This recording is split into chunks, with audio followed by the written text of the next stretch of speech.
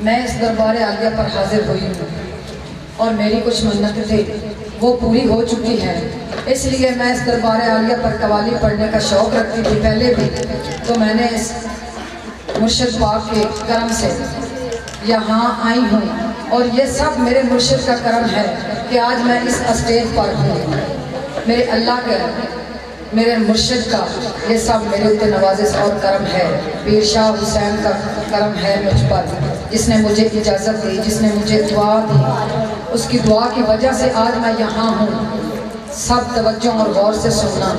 جو کچھ مجھے آتا ہے میں سب کے پیش کروں گی۔ جو کچھ میں، مجھے تو کچھ بھی نہیں آتا، میں تو کچھ بھی نہیں ہوں یہ سب میرے مرشد کا کرم ہے۔